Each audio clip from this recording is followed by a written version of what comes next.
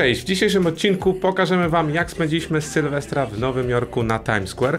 Powiemy, dlaczego nie polecamy Wam spędzania Sylwestra w tym miejscu, dlaczego czujemy się oszukani, dlaczego za cztery drinki i kilka przekąsek zapłaciliśmy 2000 zł i dlaczego marzenia o Sylwestrze na Times Square okazały się najgorszym Sylwestrem w naszym życiu w tak nietypowej formie. Zapraszam Was na odcinek z Times Square w Nowym Jorku. Zaczynamy. Sylwester na Times Square jest jednym z najpopularniejszych wydarzeń sylwestrowych na całym świecie. Nie dziwcie nam się, że jak postanowiliśmy przyjechać do Nowego Jorku w okresie świątecznym, to chcieliśmy spełnić marzenie i zobaczyć słynne opuszczanie kuli i odliczać razem z nowojorczykami ostatnie sekundy do Nowego Roku w towarzystwie fajerwerek i spadającego na tłum konfetti. Taki był plan, który się totalnie nie udał, ale po kolei. Tegoroczna impreza na Times Square odbyła się pod nazwą Ball Drop i żeby w niej uczestniczyć trzeba było zakupić bilety. Zgodnie z informacją na stronie można kupić bilety na wejście na Times Square wraz z możliwością jedzenia i picia w lokalach, które znajdują się konkretnie na tej ulicy. Co ważne, burmistrz miasta Nowy Jork zdecydował, że liczba miejsc z powodu pandemii, wiadomo, została ograniczona tylko do 15 tysięcy, aby nie tworzyć zbędnego natłoku ludzi. Dodatkowo sama impreza miała być koordynowana przez nowojorską policję. Bilety za jedną osobę kosztowały nas, uwaga, ponad 1000 zł i można go zakupić na stronie internetowej.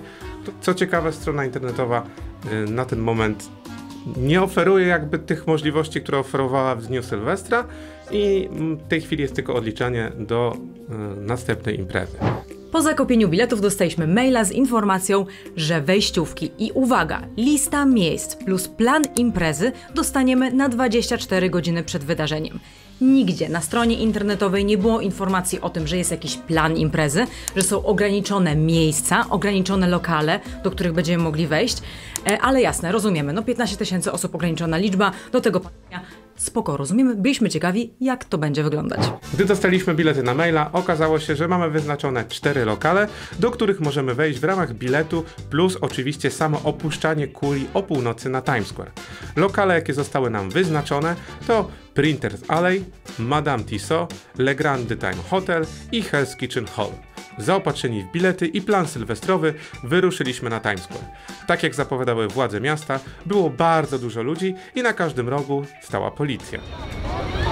Tutaj jest nasze wejście na całe Times Square. Posiadamy bilety w postaci QR kodów. E, I co? I będziemy e, zaraz wchodzić, miejmy nadzieję. Póki co jest bardzo dużo ludzi, ale widzę, że tam jest trochę lżej. Weszliśmy troszkę wcześniej, bo bilety były na dziewiątą. A jest 8.30, więc super. Teraz kierujemy się właśnie do naszego pierwszego lokalu e, i zobaczymy, czy nas puszczą, czy jednak będziemy musieli trochę poczekać. Dokładnie, ale co ciekawe, bo to też chcę Wam powiedzieć, ciekawostka odnośnie zakupu tych wejściówek, ponieważ jakbyśmy chcieli zakupić na godzinę 8, na 20, to te bilety były droższe o 30 dolarów od osoby. Aha, e, więc kupiliśmy, mówimy, dobra, to pójdziemy na dziewiątą, no bo były tańsze. Więc, a weszliśmy 8.30. Tak, a baliśmy się, że będą mega kolejki. A nie ma tych kolejek póki Tak. co. Maybe this one? Yep, yep. Great, thank you. No dobra, wchodzimy. Wchodzimy, jesteśmy opaski, wchodzimy. Pierwszy lokal okazał się lokalem sportowym i w ramach wejściówki mogliśmy stanąć przy barze i zamówić sobie drinka, który był zaskakująco mocny, ponieważ był to taki normalny, regularny drink, a nie jakieś słabe drineczki, które zazwyczaj są w cenie. Dodatkowo mogliśmy skorzystać ze stołu szwedzkiego, w którym głównie znajdowały się kawałki kurczaka w panierce i małe burgery. Czyli jakieś kurczaczki. E, no i to na pewno jest ostre, bo oni mają taką swoją przyprawę, którą dodają właśnie do tego, do kurczaków. To się nazywa te Kentucky? Tak. Nie, chyba coś takiego. Dobra, mamy też małe kurczaczki. Ale fajne. Fajne, no. Tabasco. Kto robi kurczaka w tabasco? Bardzo ostre, ale dobre. Nie mam pojęcia co to jest, ale jest takie chrupkie jak ciasto. Nie jest to ciasto. Chleb cebulowy, takie do piwa, wiecie, taka przekąska. A i co ciekawe, jeśli chodzi o alkohole, to pani nam powiedziała przy barze, że możemy na opaskę, czyli na nasze bilety pić co chcemy. Czyli wysokoprocentowe alkohole, niskoprocentowe, nie jakieś tam kolorowe drinki zabarwione alkoholem, tylko normalny alkohol w ramach tego jest.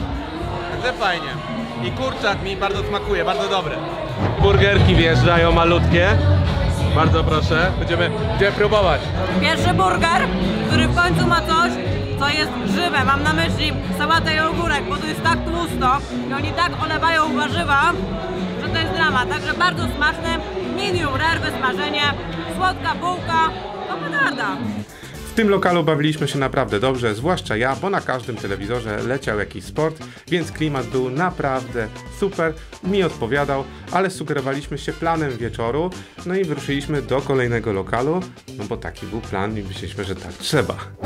No dobra, wyszliśmy z pierwszego lokalu e, i ciśniemy dalej. Kolejny lokal, który mamy e, w ramach naszego biletu to Madame Tissot. Co ciekawe, byliśmy we vlogu, więc zapraszamy Was do vlogowego odcinka, w którym pokazujemy dokładnie jak wygląda to miejsce. My ogólnie nie lubimy takich miejsc, chciałam Tak, zaznaczyć. no tak I to było, był ale było przypadek, ś- że tam Ale wylądowaliśmy. było śmiesznie, fajnie było było. śmiesznie. A teraz Tak. idziemy tam na Sylwestra. Idziemy tam na? Sylwestra, I się zobaczymy śmieję, co że Kim Kardashian będzie milała driny. Tak więc jest. idziemy zobaczyć jak to wygląda. Dokładnie. E, I też mamy taką małą zagwozdkę, ponieważ mamy tutaj opaski, ale musimy wyjść z tej strefy wyznaczonej i mamy nadzieję, że nas spuszczą z powrotem. Dokładnie, trzeba jakby wyjść na aleję. No właśnie, i tu pojawia się pierwszy problem, ponieważ aby przejść do kolejnego lokalu, nie można było tego zrobić przechodząc po samym Times Square, tylko trzeba było opuścić strefę zamkniętą i w tłumie ludzi przedostać się do kolejnej restauracji. Jak widzicie, trasa do pokonania nie jest mała i zdecydowanie wygodniej byłoby pokonać ją poprzez samo Times Square, które nie było tak zatłoczone. Ale uwaga!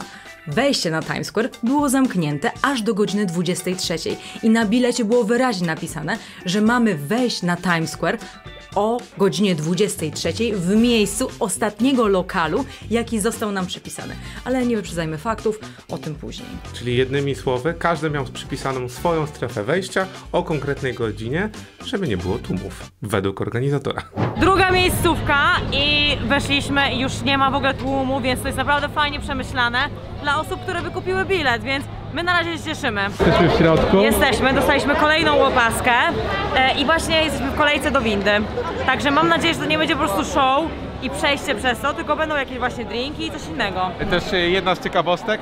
Informacja, która przyszła w mailu była taka, że mogą pobierać opłatę za szatnie od 5 do 10 dolarów. Okazuje się, że nie, że jeśli nie chcecie, nie czujecie potrzeby zostawienia e, kurtki w szatni, to nie musicie tego robić, nie musicie dodatkowo wydawać pieniędzy. To Tak. taka ciekawostka. Nic nie zjemy, jedzenie jest strasznie wymęczone. Tak, może Brawo. winogronko. Chodzą panie, które rozdają jedzenie.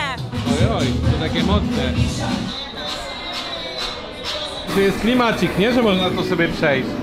To W jest ogóle fajne. dla osób, które nie zwiedzały tego miejsca, zwiedzały tego miejsca, to jest super opcja, żeby zobaczyć. Co, próbujemy czego? No raczej, oczywiście. Dobra. I w klimacie na Coney Island. Tak, troszkę. E, widać, że dobrze przyprawione, bo jest tutaj pełno przypraw, ale też jest krwiste, więc ja tak średnio. Co, niedobre? No nie mój klimat w ogóle. I very, understand. it's very tough. Yeah, Yeah. very tough. Tak jak powiedziała pani, dokładnie. Bardzo ciężkie, gumowate. Mięso stekowe, ale takie przyrządzone średnio. Y, Z masłem i... Czosnek tam jest. Czosnek. Masło i czosnek. Nie jest takie... O 23 udaliśmy się do wyznaczonego czwartego lokalu, nie, trzeciego lokalu, czyli hotelu Le Grand. No i jak zwykle musieliśmy wydostać się ze, z tej ulicy, przejść na główną aleję, przeciskać się między ludzi, ponownie wejść w strefę zamkniętą w konkretnej ulicy, na której znajduje się hotel. No i niestety tutaj zaczęły się problemy. Tak, tak zrobimy. jest młyn, co? Jest młyn. Straszny, Jezu, ci ludzie... No jest grubo, grubo, słuchajcie, już zrobiła się późna, późna godzina. E, no i ciśniemy, próbujemy się dostać. 49 ulica, trzecia miejscówka przed kulą. Jak już dotarliśmy do naszej ulicy, to pan policjant powiedział nam, że na Times Square jest już 15 tysięcy i że nas nie wpuści mimo biletów. Zasugerował, abyśmy wrócili do Madame Tissot i tam próbowali. Wróciliśmy przez ten tłum do Madame Tissot, ale policjant powiedział nam, żebyśmy jednak udali się do następnej uliczki, gdzie w końcu nas wpuszczono. Ale gdy dotarliśmy w końcu do tych barierek, które nas odgradzały od tego Times Square, czyli to były jakieś dwa metry, znowu zostaliśmy zatrzymani i pan policjant powiedział, że bardzo nam przykro, jest już 15 tysięcy osób, także nas nie wpuścili. Rozumiecie to? Zapłaciliśmy za bilet i nie zostaliśmy wpuszczeni. Nie byliśmy oczywiście jedynymi osobami, bo były tam tłum, który czekał na to, żeby wejść na Times Square. E, No ale policja tak naprawdę robiła po prostu swoje. Nigdzie na stronie internetowej nie było informacji o tym, że będzie więcej biletów i trzeba ustawić się szybciej na tym Times Square, więc zostaliśmy po prostu oszukani. Sam organizator Zmył się o godzinie 23 e, i tak naprawdę umył ręce. Oso- osoby steward, stewardzi, nie wiem jak to się mówi, osoby odpowiedzialne za koordynację, dobrze pracowały i wykonywały swoją pracę do pewnego momentu, bo byli bardzo pomocni i można było się przemieszczać pomiędzy tymi lokalami. Natomiast po 23 po prostu rozmyli się, powiedzieli, że kończą pracę i koordynację imprezy przejmuje nowojorska policja i zastrzegli w mailu, że nowojorska policja może robić co chce. I panowie policjanci robili co chcieli, czyli stwierdzili, że już jest niebezpiecznie, już nie będą ludzi wpuszczać i zaczęła się maniana.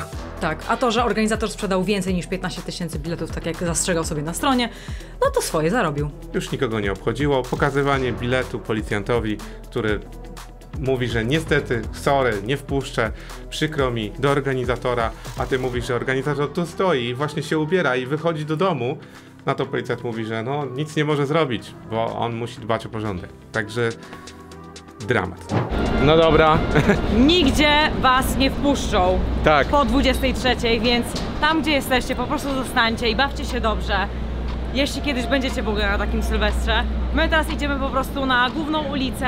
Tak, czyli tak Z resztą idziemy, ludzi. e, czyli generalnie mogliśmy nie płacić, I nie, albo nie wychodzi z tego Madame Tussauds ale albo nie wychodzić, e, nie wychodzić z klubów i po prostu zejść na tej ulicy, albo najlepiej w ogóle wejść, siedzieć na Times Square i czekać na godzinę 12, Dokładnie. żeby być na Times Square i w, w ogóle widzieć ten ball drop, tak? E, generalnie mega słaba sytuacja. Ja na Tak. pewno napiszę maila do nich, bo no będę chciał reklamować to. E, Ale w sumie to wątpię, że, da, no. wątpię, że coś wywalczę, natomiast napiszę, no bo to wiecie, dla nas jest kupa kasy, e, dla Amerykanów może nie. E, no i generalnie wychodzi na to, że musimy wrócić na e, główną, Główną aleję i stamtąd, jak reszta ludzi, zobaczyć sobie ten ball drop. E, I na tym się skończy, mimo tego, że zapłaciliśmy kupę kasy za to, żeby być na Times Square. kurwa. E, Sorry, już, że przeklinam, ale po prostu już jestem wkurzony. No bo weszliśmy tylko sobie do klubu. Do trzeciego nie zdążyliśmy. Ale dobra, nie ma co. Idziemy zobaczyć ten, e, tą kulę z daleka, a potem sobie pójdziemy po prostu do Tak. ostatniej miejscówki e, i będziemy świętować ten nowy rok. Tyle. Więc udaliśmy się pod kulę z całą resztą tłumu, który był naprawdę ogromny i mamy nadzieję, że te przebitki pokazują wam o jakim tłumie mówimy. No i tam już z resztą ludzi czekaliśmy do północy.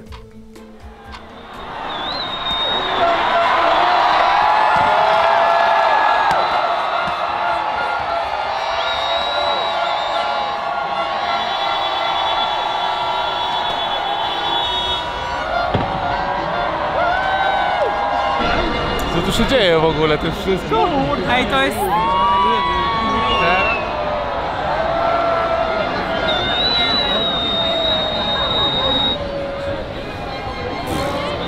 Błagam was! Co to było?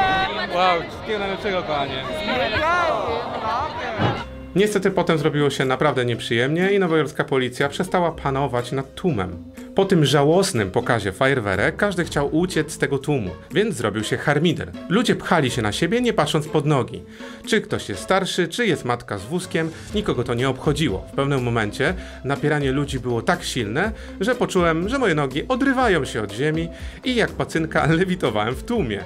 Pamiętajcie, że był to Sylwester i ludzie mieli naprawdę sporo wypite, więc jak poprosiliśmy, żeby ktoś się nie pchał, no to można było zarobić w zęby. Gdyby tego było mało, nasz ostatni lokal okazał się klubem. Kumacie tą klubem. To jest ostatnia rzecz, ostatnie miejsce, do którego chcieliśmy iść. I jeszcze gdyby tego było mało, to okazało się, że wejściówki traciły swoją ważność o godzinie pierwszej, więc jesteśmy wpuszczeni, ale już za drinki musieliśmy płacić, więc po prostu stamtąd wyszliśmy. Także tak się kończy nasz Sylwester na Manhattanie. Wam pozostawiamy do oceny. Tak wyszło. Przynajmniej wy nie musicie sprawdzać. I żeby była jasność, za tego Sylwestra zapłaciliśmy ponad 2000 zł. Czy polecamy? Nie. Czy czujemy się oszukani?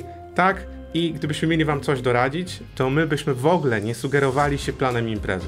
Czyli spędzilibyśmy czas w pierwszym lokalu, który był najlepszy, siedzieli tam do godziny 22.30 i na spokojnie udali się potem na imprezę na Times Square, o ile by nas spuścili, bo tak naprawdę na bilecie było wyraźnie napisane, że wejście jest możliwe tylko i wyłącznie, znaczy na bilecie w mailu, bo wiecie, też były maile, bilety, yy, ludzi człowiek pytał. Amerykanie niestety mają taką tendencję zbywania, tak jak zbywali nas policjanci gdzie mamy się udać, do jakiej uliczki, to po prostu polegało na tym, idźcie tam, może was puszczą.